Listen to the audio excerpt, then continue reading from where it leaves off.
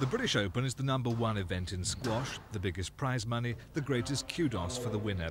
Jahangir Khan won the men's title last year for the sixth successive time. Today's draw pairs him with his main rival, Jansher Khan. And for the ladies, Lucy Soutter, the Cannons Club player, is set for another showdown with world champion Susan Devoy in the semi-final. Lucy beat her recently and is keen to win the British title for the first time.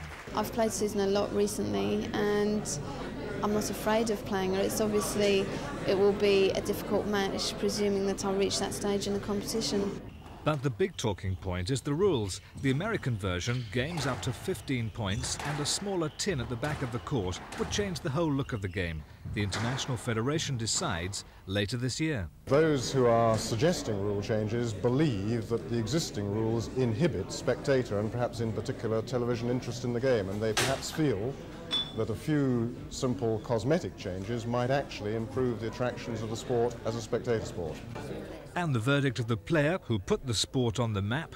The players are very keen to see possible changes, you know, that don't actually abort the best ingredients of the game, but do make it a more practical spectacle for, for uh, the general public and make it easier for television to capture and encapsulate all the best ingredients. So they're prepared to go along with this.